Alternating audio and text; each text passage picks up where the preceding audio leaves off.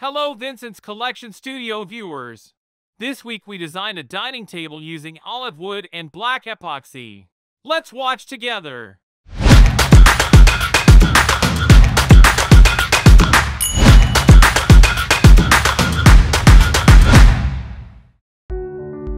First of all, we are looking for trees with characteristic features requested by our customers from our tree warehouse.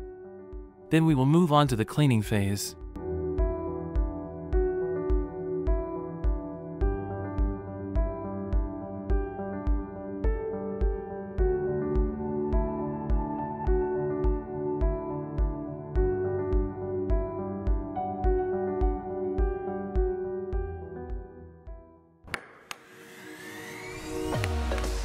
Cleaning tree stumps is one of the most important steps in making an epoxy table. The reason why tree cleaning is very important is that the trees we use have completed their life in nature.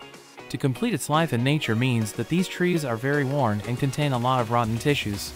This is one of the best parts of our job. It's truly amazing that trees like this can be recycled and produced with marvelous results. If you want to see more such content, you can support me by subscribing to my channel.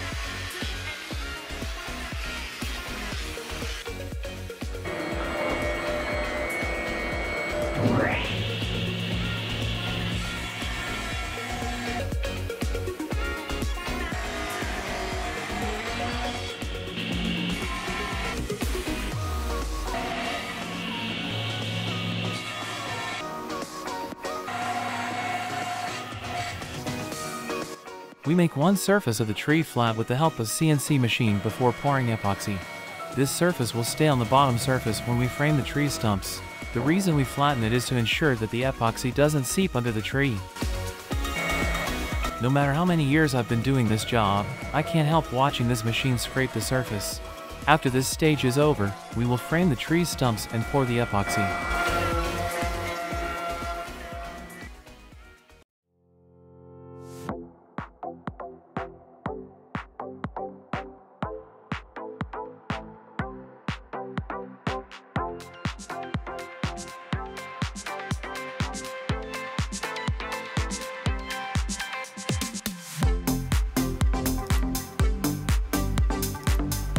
The tree stumps need to be well framed in order to have a table of the desired size.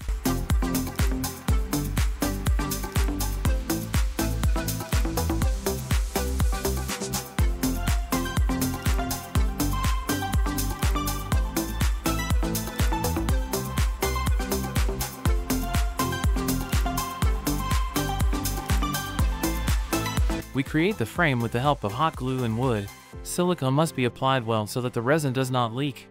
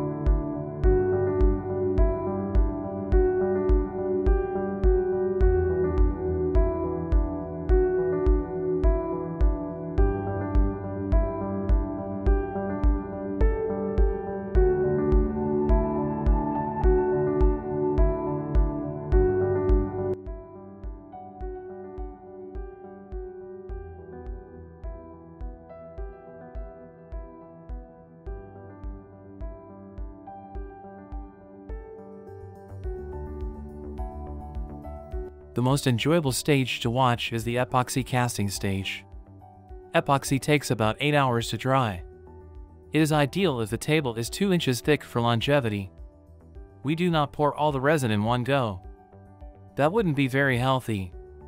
Epoxy is poured at different times in 3 times.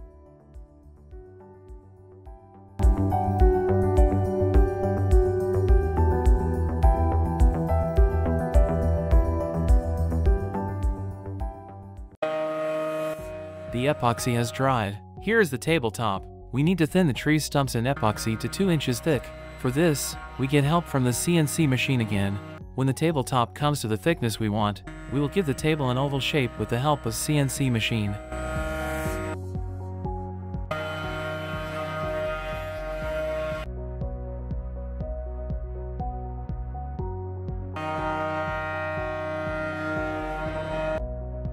Our customer asked us to make the table oval first I change the head of the CNC machine. Then I will adjust the calibration of the machine and draw an oval shape on the table.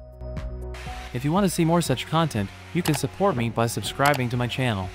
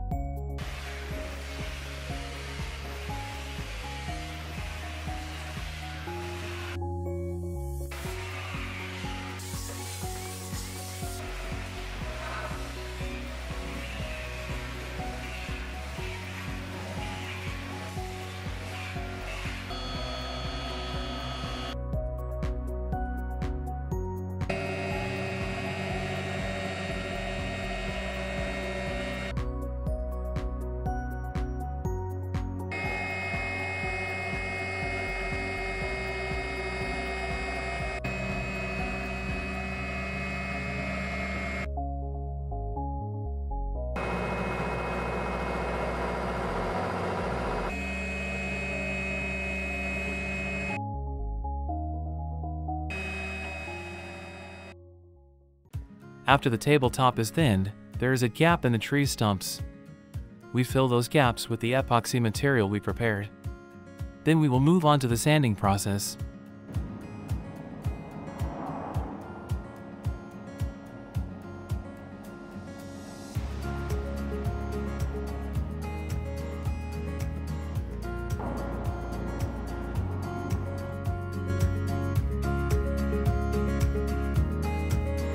Our table is almost ready.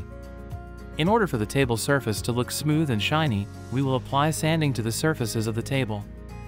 When sanding, we first use coarse grit sandpaper. Then the grit numbers increase and we don't stop until we use the thinnest grit sandpaper.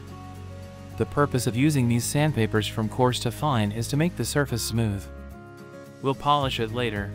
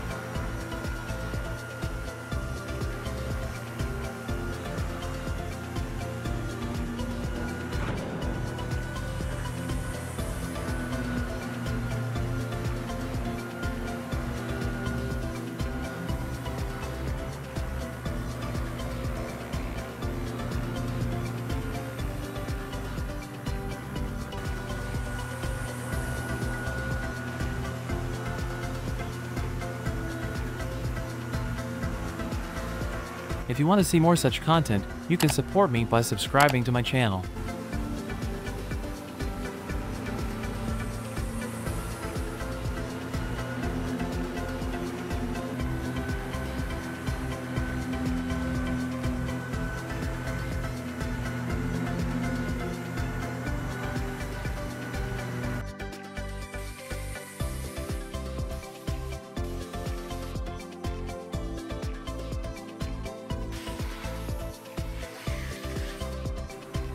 Here, we make the grains of the wood appear more clearly with wood oil.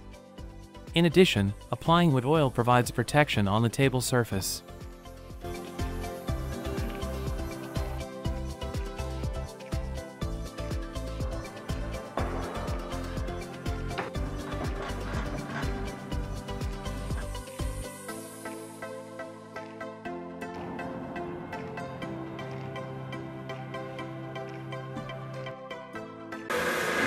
Our metal worker makes the leg style the customer wants.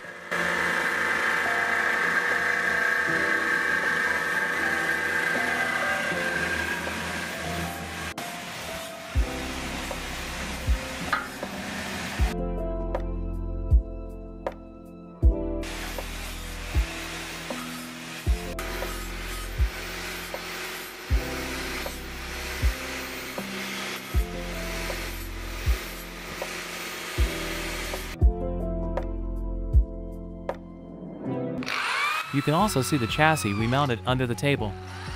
With this metal frame, the table legs are easily connected and this frame provides support to the table.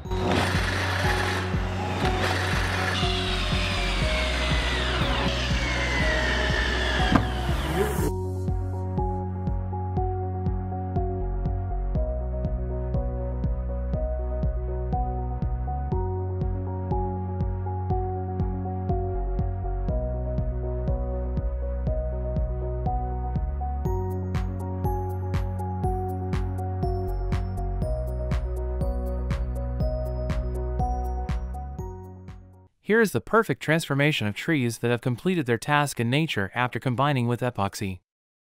I wish my customer to eat on the table with pleasure for years. If you want to see more such videos, you can subscribe to my channel. Thank you for watching.